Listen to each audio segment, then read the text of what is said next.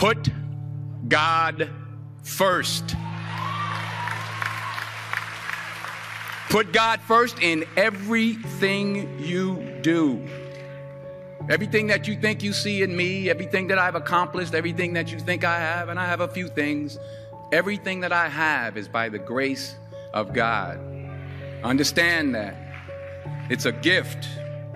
I was sitting in my mother's beauty parlor and I'm looking in the mirror and I see behind me this woman under the dryer and every time she looked up, she every time I looked up, she was looking at me, just looking me in the eye. And I didn't know who she was, and I said, you know, she said, somebody give me a pen, give me a pencil. I have a prophecy.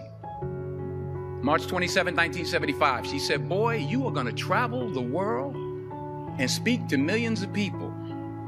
Now, mind you, I was flunked out of college. I'm thinking about joining the army. I didn't know what I was going to do, and she's telling me I'm going to travel the world and speak to millions of people. Well, I have traveled the world. And I have spoke to millions of people. But that's not the most important thing, the success that I had. The most important thing is that what she taught me and what she told me that day has stayed with me since. I've been protected, I've been directed, I've been corrected. I've kept God in my life and it's kept me humble. I didn't always stick with him, but he always stuck with me. So stick with him in everything you do. If you think you want to do what you think I've done, then do what I've done and stick with God. Number two, fail big. That's right. Fail big. Today's the beginning of the rest of your life, and it can be, it can be very frightening. It's a new world out there, it's a mean world out there, and you only live once. So do what you feel passionate about, passionate about. Take chances. But don't be afraid to go outside the box. Don't be afraid to think outside the box. Don't be afraid to fail big, to dream big. But remember, dreams without goals are just dreams. And they ultimately fuel disappointment. So have dreams, but have goals. And understand that to achieve these goals, you must apply discipline and consistency. In order to achieve your goals, you must apply discipline, which you have already done, and consistency every day, not just on Tuesday and miss a few days. You have to work at it every day. You have to plan every day. You've heard the saying, we don't plan to fail, we fail to plan. Hard work works. Working really hard is what successful people do. Remember that. Just because you're doing a lot more doesn't mean you're getting a lot more done.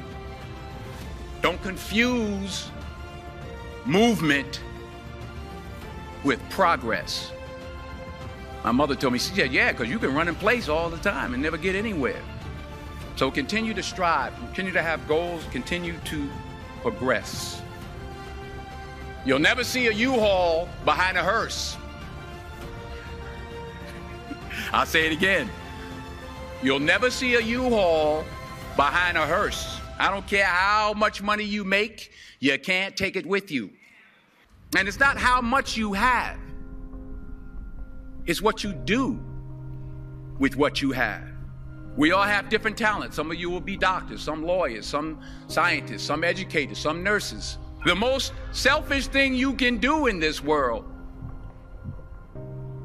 is help someone else. Why is it selfish? Because the gratification, the goodness that comes to you, the good feeling, the good feeling that I get from helping others. Nothing's better than that. Nothing's better than that. Not, not jewelry, not big house I have, not the cars, but the, the it's the joy. That's where the joy is in helping others. That's where the success is in helping others. Finally, I pray that you put your slippers way under the bed tonight so that when you wake up in the morning, you have to get on your knees to reach them. And while, you, when, while you're down there, say thank you for grace. Thank you for mercy. Thank you for understanding. Thank you for wisdom. Thank you for parents. Thank you for love. Thank you for kindness. Thank you for humility. Thank you for peace. Thank you for prosperity. Say thank you in advance for what's already yours.